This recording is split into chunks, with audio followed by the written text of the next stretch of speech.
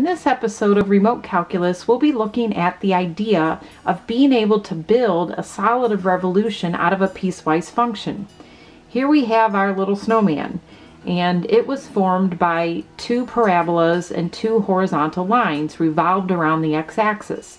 So I could find the volume of each section and add those sections.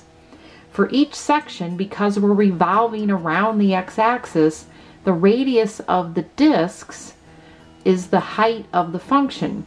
Remember what we're doing is we are imagining adding the volume of a bunch of disks. So the volume of a disk is the area of this circle times the thickness.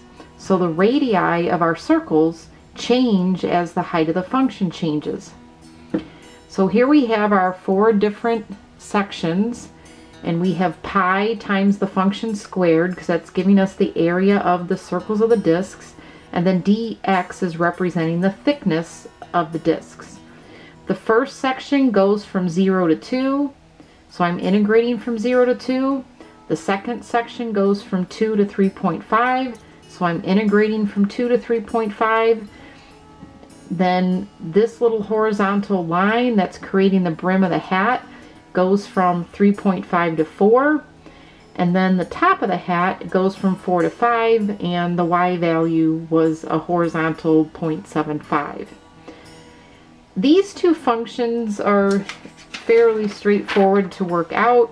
You do need to be a little careful when you're squaring the parabola. You're FOILing that out where this is the first term in the binomial and that's the second term in the binomial so I get 25 sixteenths times x minus 1 to the fourth power because I'm squaring the square. Then I have two of these terms from minus 1.25 times 1.5 and 2 times 1.5 times negative 1.25 is negative 15 fourths. And then when you FOIL the last terms, you get 1.5 times 1.5, which is 3 halves times 3 halves is 9 fourths. So that's how you want to approach working this one out by hand, is you want to FOIL this out, and now you have power rule, power rule, technically power rule. So I add 1 to the powers, divide by the new power, add 1 to the power, divide by the new power. The antiderivative of a constant is that constant times x. My upper and lower limits were 2 and 0. If I replace 2, I get a difference of 1. So 1 to the 5th times 5 sixteenths, 1 to the 3rd times negative 5 fourths, and then I have 9 fourths times 2. And then you subtract the lower limit plugged in. So when I plug 0 in, this becomes negative 1, that becomes negative 1, this becomes 0. And when I raise to the fifth power, I will get a negative 1, and a negative times a negative makes that positive. Here, negative 1 cubed is negative, so that's that term, and then that term was 0. So we end up getting 21 eighths times pi, or approximately 8.24. The second part of the snowman was the same type of function, so there really is no new math in it, um, but you're foiling out a different parabola. So when you FOIL out this parabola, you get x minus 3 to the fourth minus 5 halves x minus 3 squared plus 25 sixteenths. And once again, I can do power rule, add 1 to the power, divide by the new power, add 1 to the power, divide by the new power, and then 25 sixteenths has an antiderivative of 25 sixteenths times x, and the that part of the snowman, the head, went from 2 to 3.5, so my upper limit is 3.5. Plugging it in, 3.5 minus 3 is a half. And then when I plug 2 in, I get negative 1.